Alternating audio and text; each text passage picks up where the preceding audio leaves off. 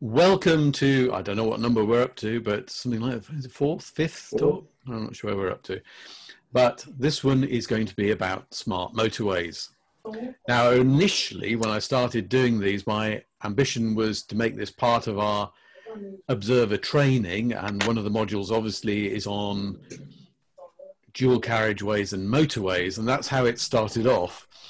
And when I realized I'd got about an hour and a half's material on this one and only half an hour to fill, I decided I was going to make it smart motorways only because most of us know a certain amount about motorways, but smart motorways and in all of their var- variations and vagaries are relatively new. And there's a few things I wanted to talk about with those.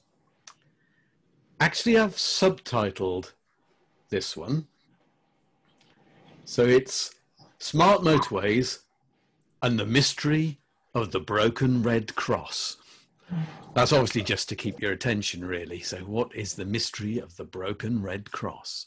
All will be revealed. No shouting out from anybody in Durham. Brief introduction, just because I do this every time, and most of you are probably bored with it by now. But my name's David Reeves. I'm look after observer training here at Northants Advanced Drivers. Used to be an IT consultant and used to do lots of training, uh, amongst other things. And having been redundant a couple of years ago, I trained as an ADI, but I've never actually worked as an ADI. But I do all sorts of other voluntary things. I, I, when we're not locked down, I help out in a primary school. I'm now a governor there. I'm also a JP here in Northampton.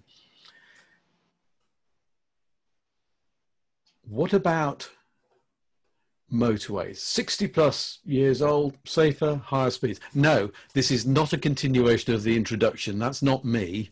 I'm talking about motorways. 1959, obviously memorable for two reasons. One of them was that uh, it was the first opening of the motorway. As you can clearly see, that's the, you recognize it straight away, that's the M1 near Luton. I came up there yesterday. It has changed a little bit, but the lane drill really hasn't changed at all. Really, you know, you're still allowed to drive for miles in the outside lane, should you want to. They're generally safer, but they involve higher speeds. So there are certain things we have to consider. Now, while the M, well, actually, the uh, Preston bypass, I think, was the very first motorway, but the first full size one was the M1. And it was opened in 1959 uh, by Ernest Marples.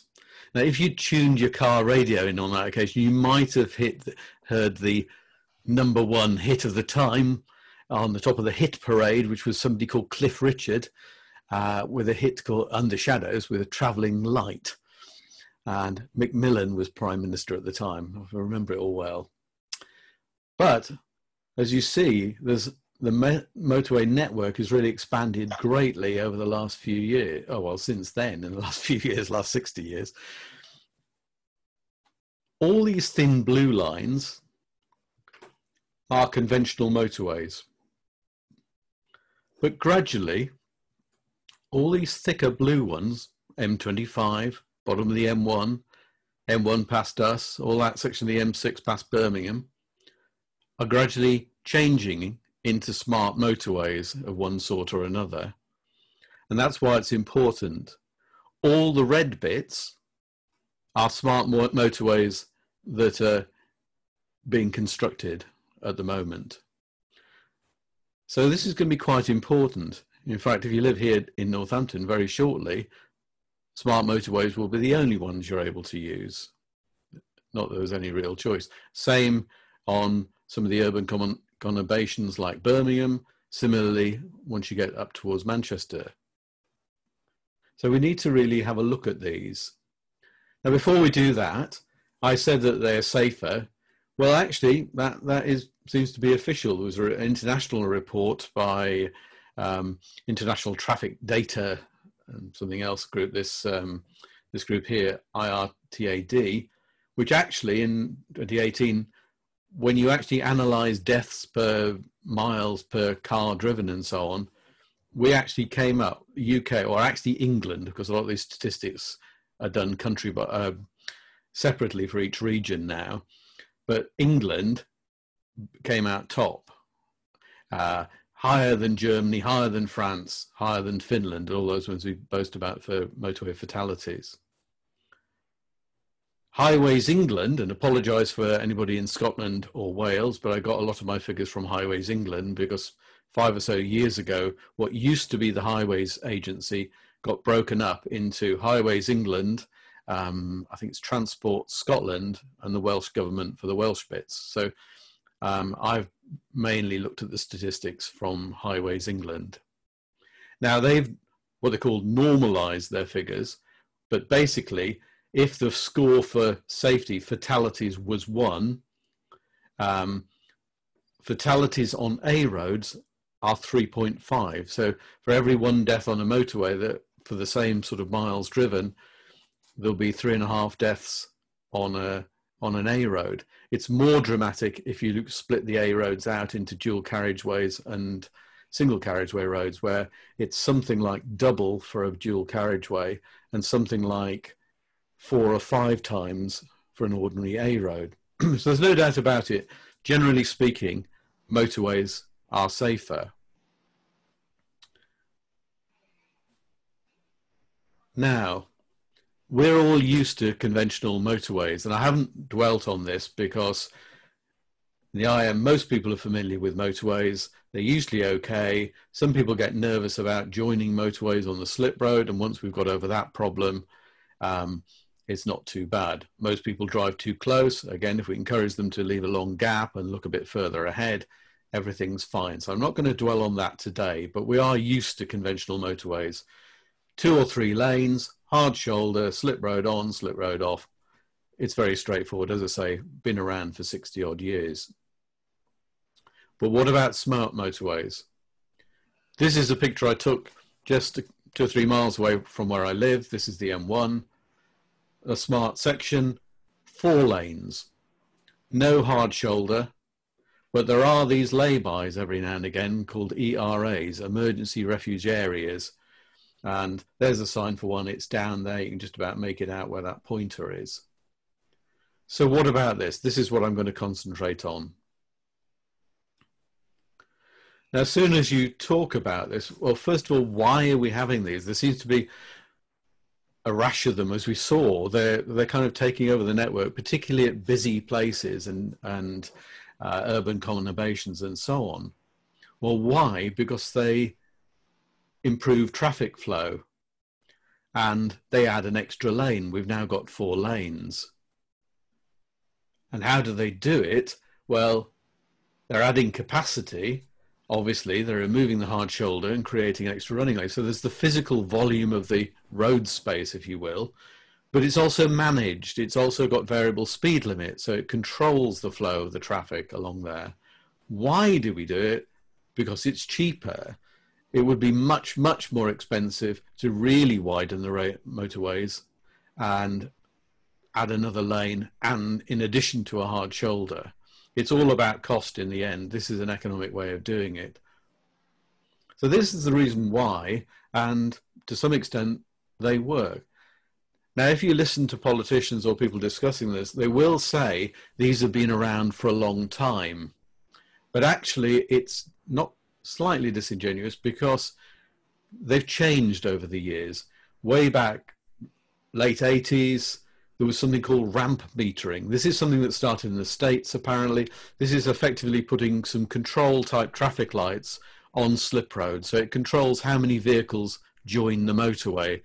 And that there was one in Walsall, I think there was a couple in, in Birmingham sort of area, so that rather than have a a pinch point where a lot of traffic joined the motorway, they would control the flow of traffic onto it and, and limit it in some way.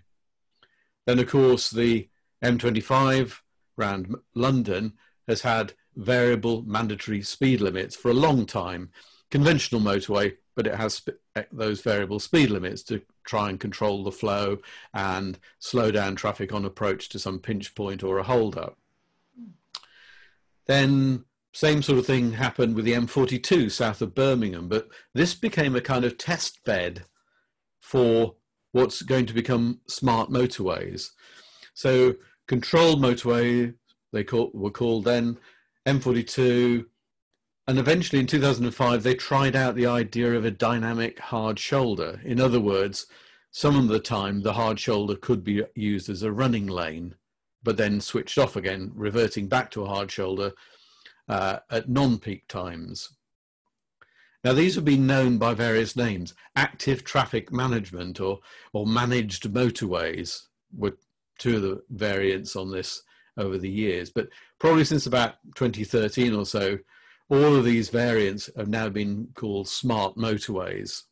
So we really need to know what we're talking about with these, and they come in a few different flavors. So, what are the flavors of smart motorways? First of all, there were the controlled motorways, and there's still quite a few of those around, and there are sections that are controlled motorways. Um, I'm going to look at them in detail in a moment. Then there's all ALRs, all lanes running. That's what we often think of smart motorways. And then there's dynamic hard shoulders, where the hard shoulder is switched in and out of service. So let's have a look at these in a little bit more detail. Controlled motorways, these have been around, as we said, I've just said, for a little while now. And they retain the hard shoulder. The hard shoulder stays there permanently as a as a hard shoulder. So there's somewhere to break down on. There's somewhere for emergency vehicles to gain access to an incident should it occur. But these red circles are mandatory speed limits. In fact, all of these gantries now are fitted with cameras and it's a nice little earner. There's a regular supply of people clocking these things because it's it's fairly automatic. More of that in a moment. But we're all kind of used to that. Now the idea of these is that on an approach to an incident, you can manage the speed. That basically means changing the speed limit from the default 70 miles an hour down to usually 60 or 50. And that means that you can slow the traffic down if it's coming to a point that usually causes traffic jams. Obviously, like here, they can be even slower. If there's an actual incident, it can be used to slow the traffic down even further. Um, so that's what that's about. One of its effects is, I think we've all experienced it over the years, is that shockwave effect where the traffic slows down for some reason up ahead, but a shockwave moves backwards through the traffic. And so the traffic behind it comes to a grinding halt and then gets going again and then comes to another grinding halt. Well, the idea of managing it, of damping down the, the flow rate, is to is to try and stop that, and that's quite successful. And it it also limits the number of rear end shunts and things that are often as a result of that sort of um, traffic behavior of sudden stops. Now we come to all lane running, and this is what we tend to mean by smart motorways. And this is a diagram that came from, from um, Highways England, and it describes what a smart motorway should look like. So what we're seeing is extra signage to let you know what's going on with the smart motorway, any incidents, anything like this. Instead of a hard shoulder, we now get this lay-by thing, an emergency area or an emergency refuge area with a with a phone in it, with a SOS type phone in there. There will be many more gantries because they have signs above them that tell you whether the lane is open or closed or whether we need to change lanes and things like this. And along with the signals, there are now CCTV cameras to a central regional control room. Of course, we have the extra lane here, extra signage, as we said. They're also putting in traffic monitoring systems. The cameras themselves can detect the flow of traffic, how fast it's going, is it slowing up or something like this. Um, but this traffic monitoring radar that's coming in is a bit like the stuff that they use at airfields for monitoring aircraft on the ground. So as they places like Heathrow where it gets busy, they can see in fog. Now this can detect more easily stationary vehicles or objects on the carriageway. Uh, and that's gradually coming in as well. The ordinary cameras apparently were less good at detecting the difference between an empty motorway and a completely stationary motorway. Uh, well, I think they've got around that problem now. Now, because of all this other technology, there's also massive great ducts under the ground along the side of it, which is why it takes so long to, to construct these things for all the extra cabling and so on that's necessary uh, and all the monitoring um, hardware and software and so on that goes with this. So that's basically what they're creating in an all lane running version of a smart motorway. The third variant is what we talked about, the dynamic hard shoulder. So this is where the hard shoulder can be switched in and out of operation. So here we are, dynamic hard shoulder. It's got a solid white line down it because it's a hard shoulder some of the time. But can we use this at the moment? In, the, in this picture, can I use this hard shoulder to run along? Yeah, nobody is. Uh, but it's got a speed limit sign above the top of it. Whenever you can use this, it tends to be at peak times, there will be a speed limit displayed above the top of it. What about now? No signs lit at all. Can I use it? No, you can't. Uh, and sure enough, nobody is using it mainly because I photoshopped the sign, gantry signs onto them after the uh, after the event. But what about this red cross in there? Ah. Well, what about this? Hang on. Isn't that another red cross? Ah, the mystery of the broken red cross. Remember that. Here's the broken red cross. And if you're as anarchic as I have been this week and looked it up, you'll find that in the signs manual that the government publishes, these have two different numbers.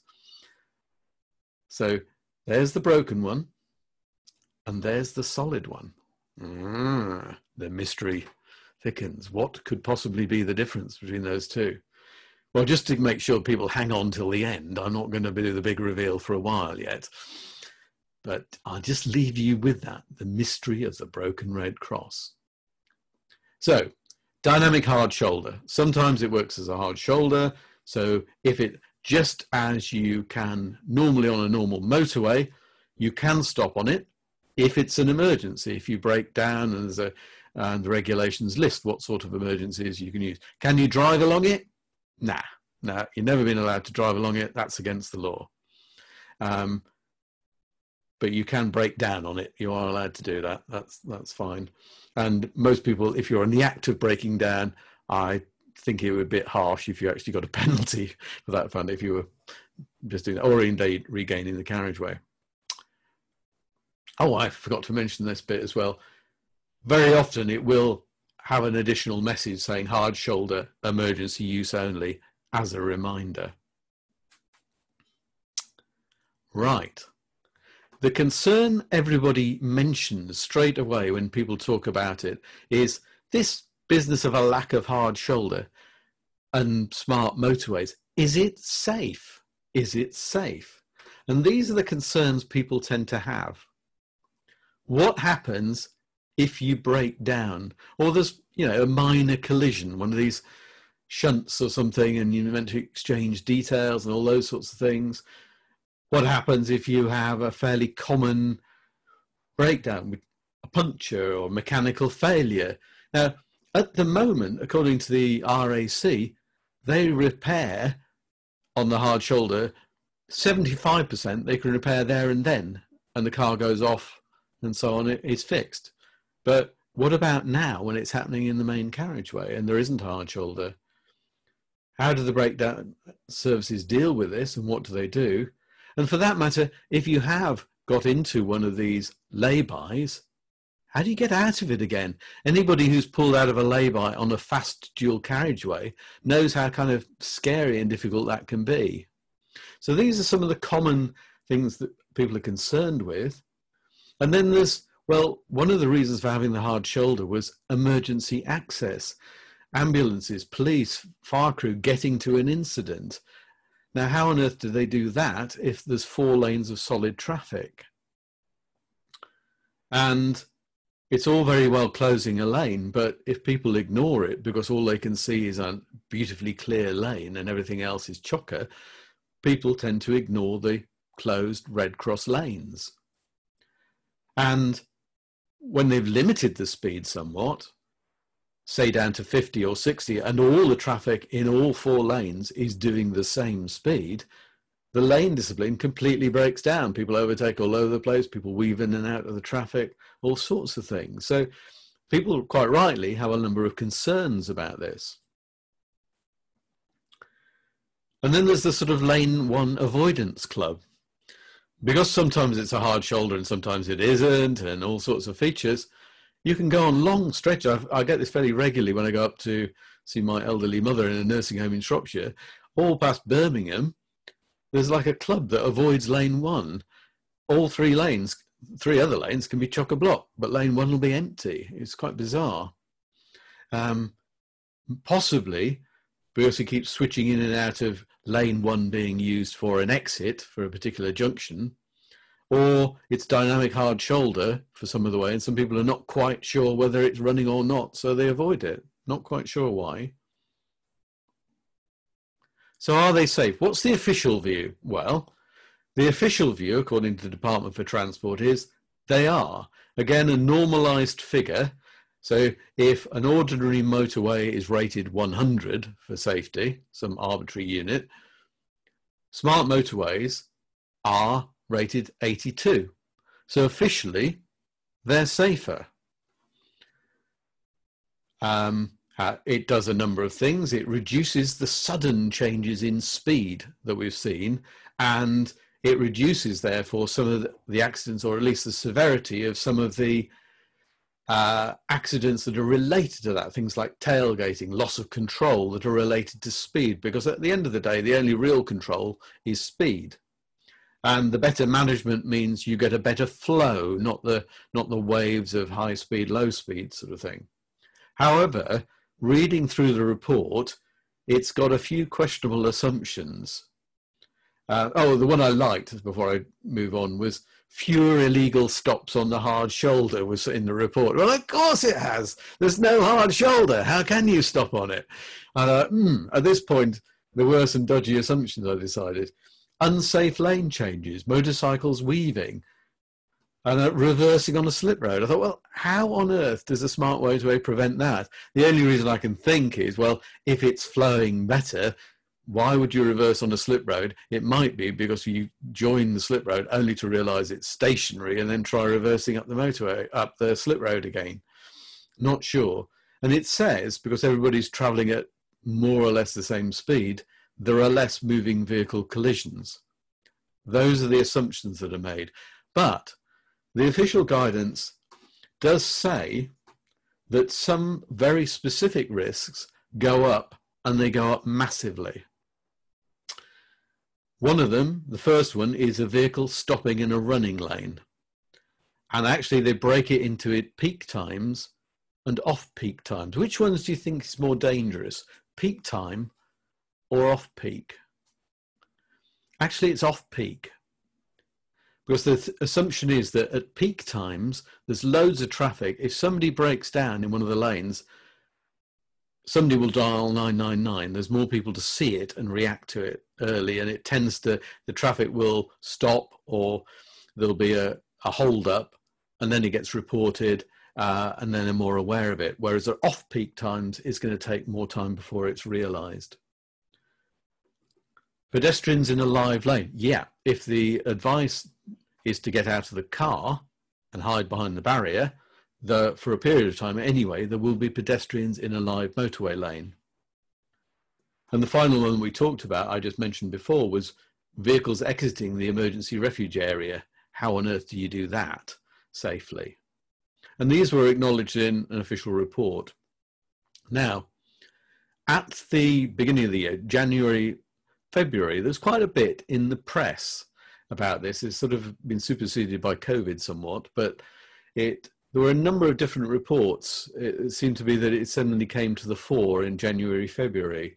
Um, that one was uh, showing smart motorways make traffic jams worse because you'll end up closing more lanes to, to rescue people. Daily Mail, BBC, 38 killed on smart motorways in the last five years. Um, the Times, more serious crashes on smart motorways.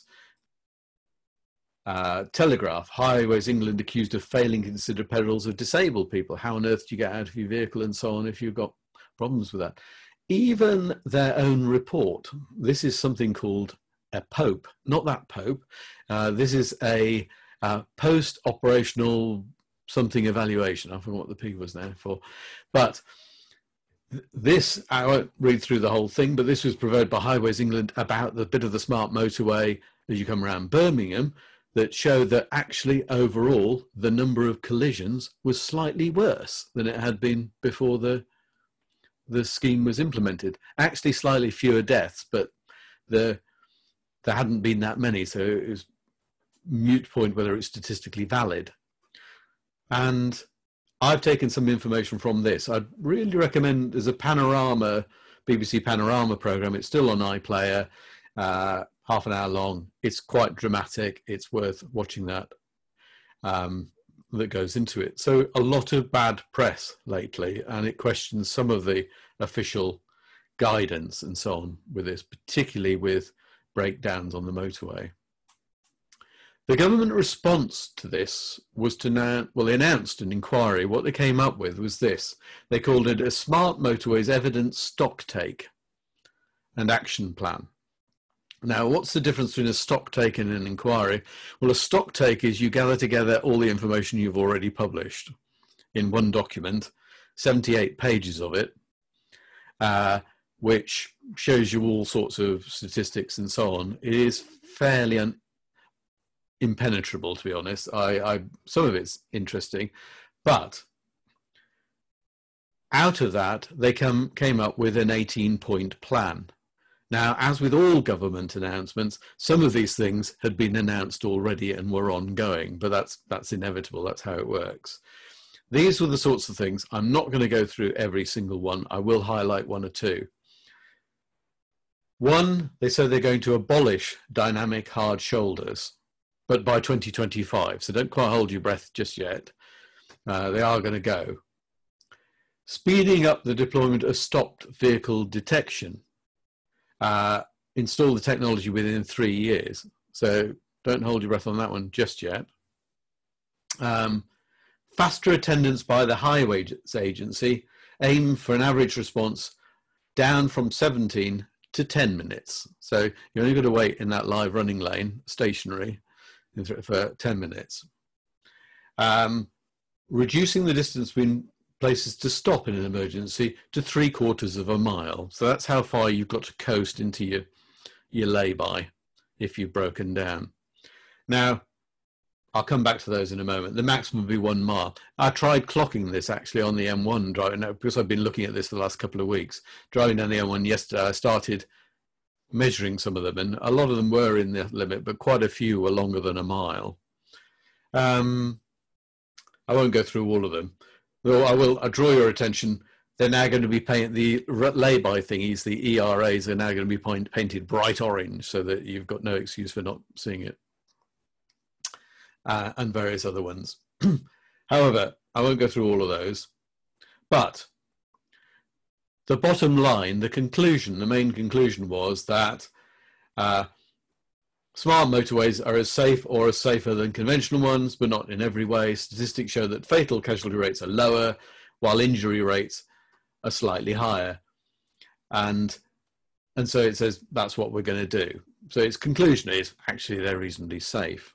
So what's the advice if you're driving on one? The official advice, oh, that's a solid cross. More about the broken cross later. Official advice is this if your vehicle has a problem on a motorway with no hard shoulder, move into the left-hand lane. So you're still driving at this point. The car's still moving. Move into the left-hand lane and put your hazard lights on.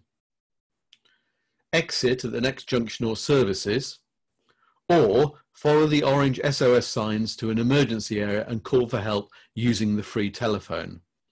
Now, free telephone obviously locates precisely where you are and it's painted on the side of it. So there are some advantages to using the emergency telephone in those laybys. So that's the first thing, if you can get into the layby. If you can't get off the motorway, it says, move your vehicle as close as possible to the left-hand verge, boundary or slip road. If you feel you can get out safely with any occupants, consider exiting your vehicle via the left-hand door and wait behind the safety barrier. Uh, and if there is if there is one and it's safe to do so, don't try this on the raised portions of the uh, smart motorway going through Birmingham because it's a hell of a drop the other side. Keep clear of your vehicle moving traffic at all times. Call 999 immediately. I put that top of the list actually. Now, there's always been a prob- possibility of breaking down in some lane other than lane one. And you've got four to choose now, well, three others to choose from now. So what happens if you break down somewhere else, some other lane? So the advice now is keep your seatbelt on and hazard lights on and call 999 immediately. We'll close the lane and send help. Right. I'm going to play a sound clip now. Uh, last time I did this, I couldn't hear it, but you could. So if it works the other way around, please tell me you're not hearing anything in a second. But just listen to this. This is a real 999 call. And I want you to kind of mentally tick off which of these points they've, they've done. Have they uh, obeyed the instructions? I'm stuck in the middle of the M6. My car's broken down. Okay, whereabouts on the M6? I'm on, I'm on the left-hand lane. Um, I've passed Knutsford. Um, I don't have a, uh, a bearing, I'm afraid. Okay, so you're um, going north or southbound? I'm going northbound. Got the hazards on. Uh, what else can I do? Because I've got a family of five in the car. Okay, don't worry. And you say there's five people in the car? Yeah, my my. Oh,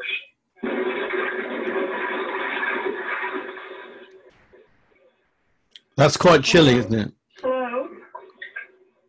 That's quite chilling, isn't it? Um, I was- my, they were all right. There were minor injuries, I should say. So, this is why this red light business and closing lanes is so phenomenally important. And the law was changed. Well, it was always been illegal to go past one of these red lights and one of the closed lanes. But the law was changed a few years ago that the cameras that are there to detect speed and to monitor the traffic can now be used to enforce these. So anybody going past one of these is likely to receive a ticket, hundred pound fine, fixed penalty, three points. But one, it's there to protect stranded vehicles, anybody stuck in those lanes, and it also creates an access route for emergency services to get to people. As I say, it's illegal. It's Road Traffic Act, Section 36. Uh, Now, just if you're anarchically interested in that, that's the same one as jumping a red light. Um, of course, bizarrely, it's different if the red light happens, red cross rather, happens to be over a dynamic hard shoulder, in which case it's a different motorway regulation. Piece of useless information, you might think. And 2016, the law changed to allow camera evidence for those offences. So people doing that will be prosecuted. But have a look at this. This is the diagram I showed you before and all the features of a smart motorway.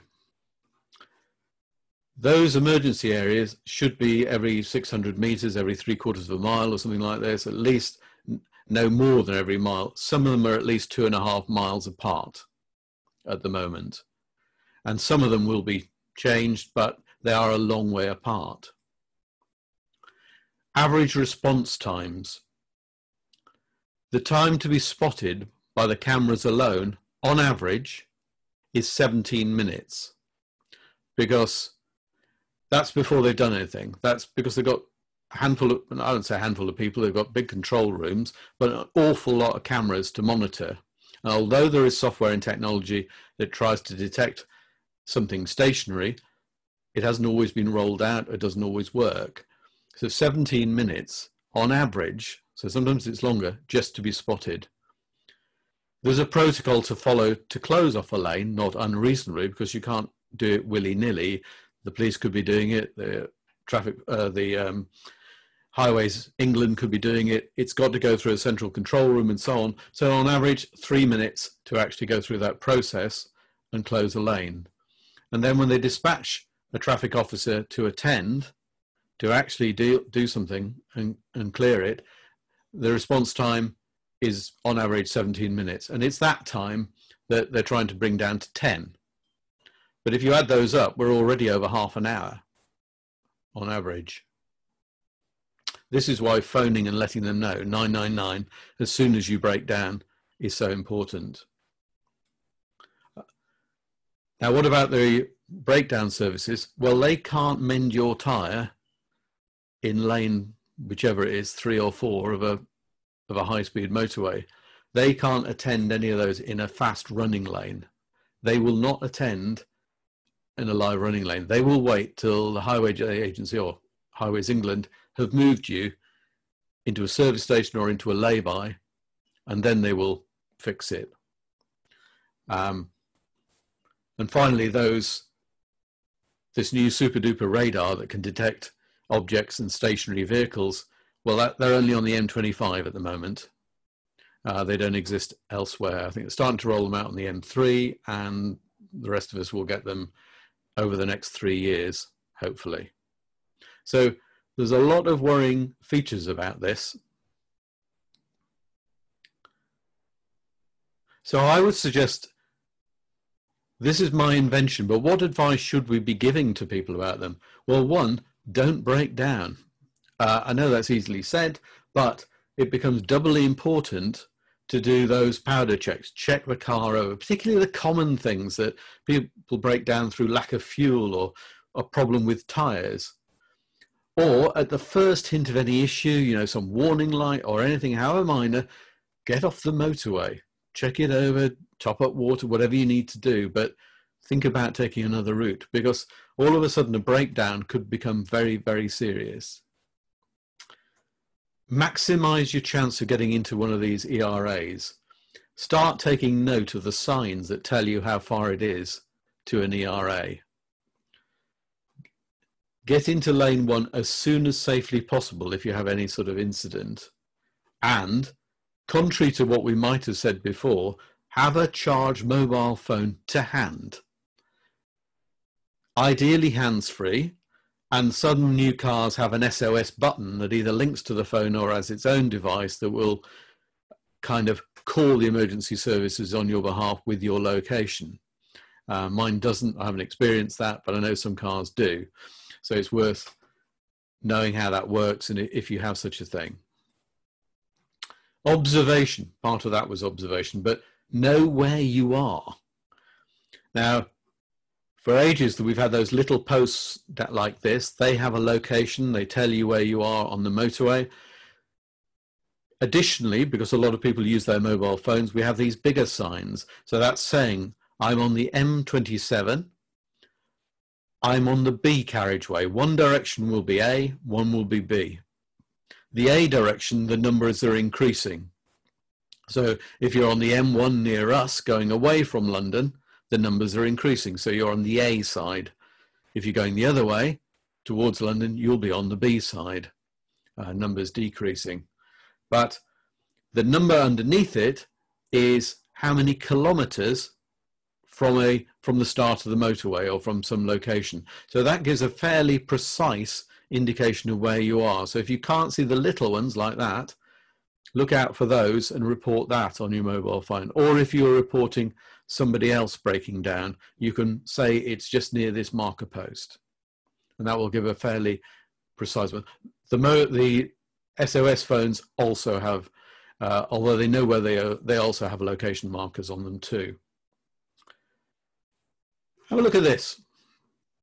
You're following along um, on uh, ordinary road, nice clear day, dry road, bright, lit, everything good. And um, what, say back two second gap? I don't know, there's a van up front. Have a look at this. I'll have a look at that in a moment. Let me just sort out my laser pen. Have a look at this.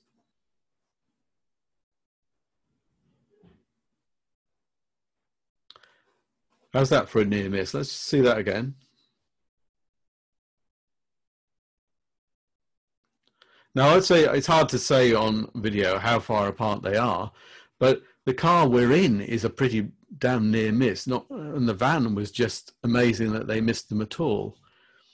But it's that, um, it's that idea that you really need to leave a long gap you know, two seconds almost isn't enough there. You need about four or something. You've kind of got to assume that there is a stationary object in the lane ahead of you.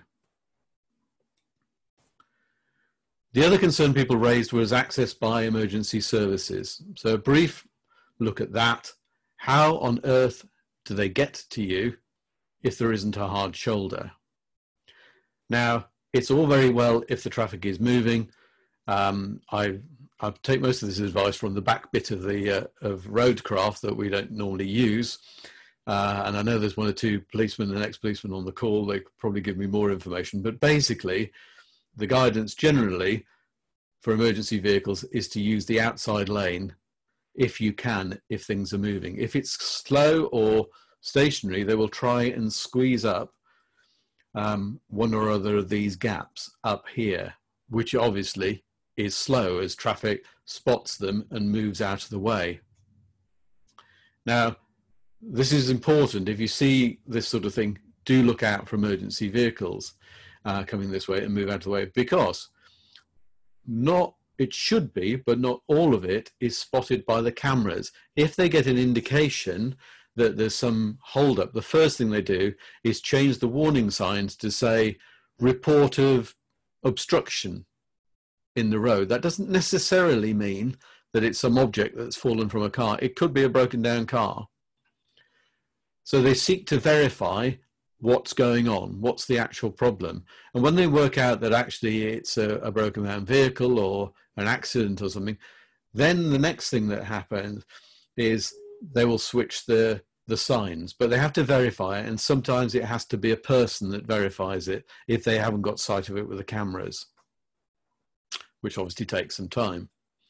So the next thing that they will do, once they've verified what the nature of it is, is to switch these signs. So in order to get access, they need to close a lane, but the gantry signs before that will indicate that you've got to leave that lane and a speed limit. And it will bring down the speed first to 60, telling you that there's a lane closure ahead. Then they will start to close that lane. So there'll be gantry signs showing you to come into the next lane. And finally, they'll close the lane. Which lane they close depends on the nature of the incident. It, typically, it's lane one or it's lane four, but it doesn't have to be. It depends exactly what the situation is. In very serious cases, and once they verify there's no traffic flowing, they can after closing it completely, get access from the other direction. So the emergency vehicles join at one junction on, go backwards up the motorway, deal with the incident and go around that way. But they've got to have made sure, there's usually somebody has had to come here and close it all first and make sure that there's no vehicle sneaking through or anything before that. And that's kind of how they get to you. So what I'm laboring here is the importance of those red signs, I think, the red crosses.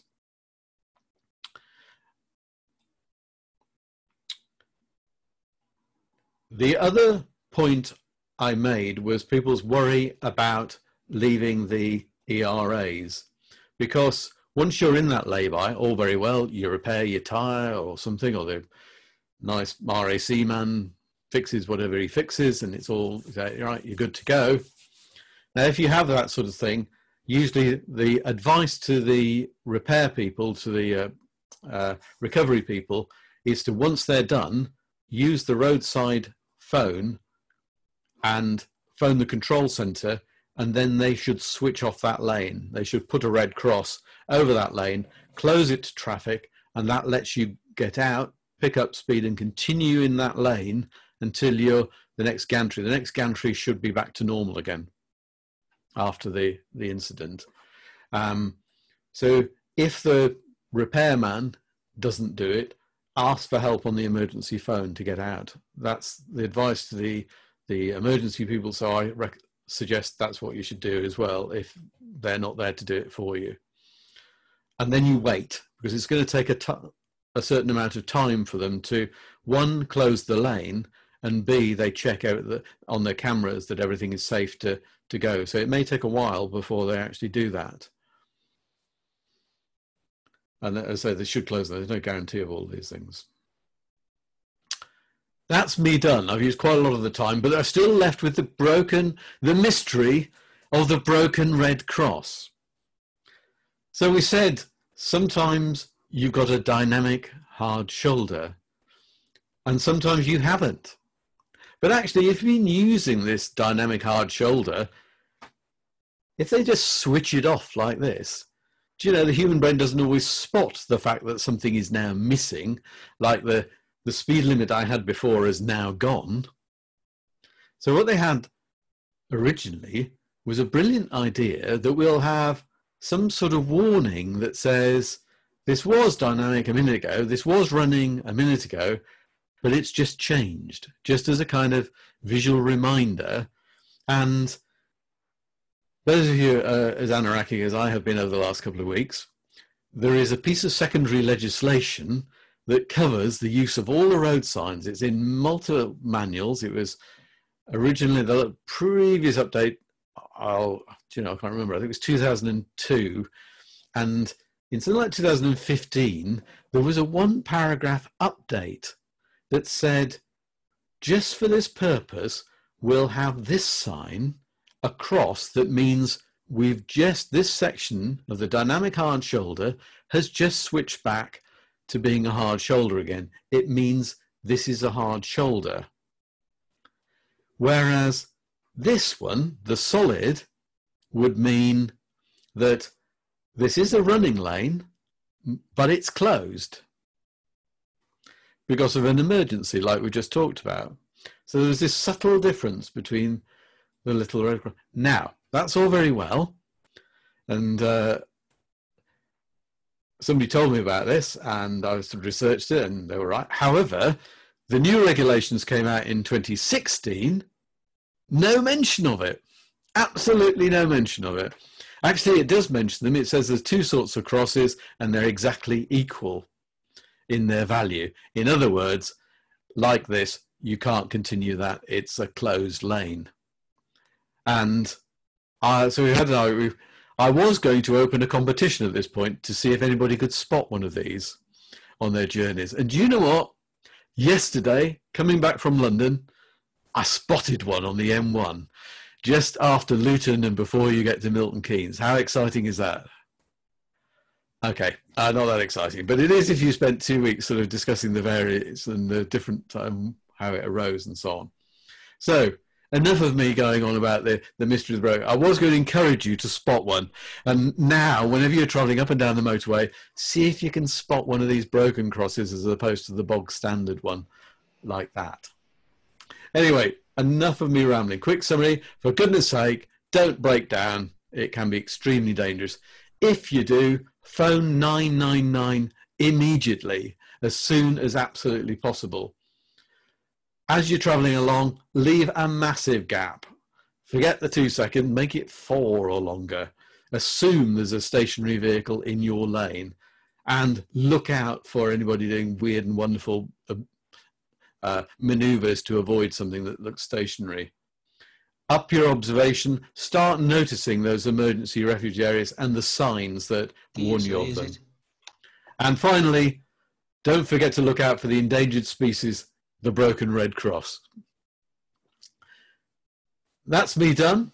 So I'm going to open this up for any questions, any discussion. I'm going to stop sharing that screen and so I can see all